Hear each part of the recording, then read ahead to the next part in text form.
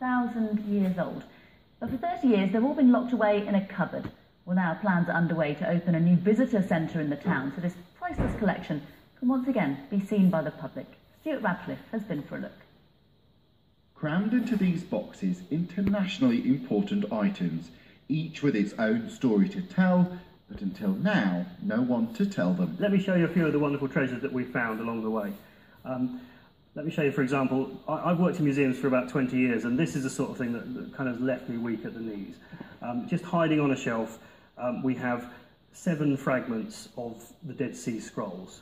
So yes, these are fragments of um, leather, parchment, and vellum that the, the, the biblical texts from the Old Testament were written on around the time of the life of Christ. I mean, outrageous, really, that they're just in a box. I, I know, yeah. Uh, they, are internationally important items. It's, it's the reason why this museum just must come back online and the public must get access to these wonderful treasures. This is another remarkable treasure. This is uh, uh, nine pages of uh, a 9th century Quran. This is um, part of um, surahs 32 and 33 of, of a Quran, um, which is written only about 200 years after the Prophet Muhammad was writing the Quran in the 7th century.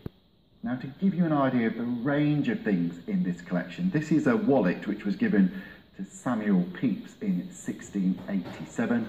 Then over here, perhaps the world's oldest underpants. These are loincloths which were worn by Egyptian slaves in 1500 BC.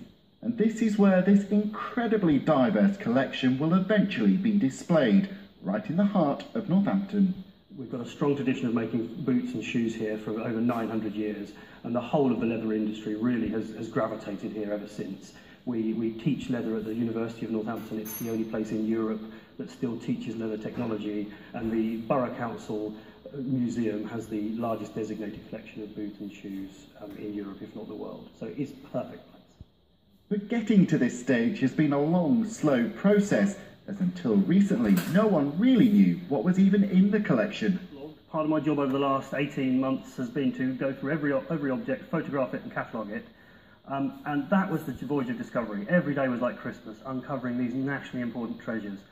No chronological order to them, every day there was another surprise. And when you started doing all the cataloguing, could yeah. you believe the sorts of things that you actually had in this collection? Honestly, no. There is a, a, a hidden challenge in here. We want to get it to the public first. We want the public to join us on our journey. And that journey begins now, with the museum looking for businesses and volunteers to help transform this space so it can welcome its first visitors in the autumn. Stuart Radcliffe, BBC Look East.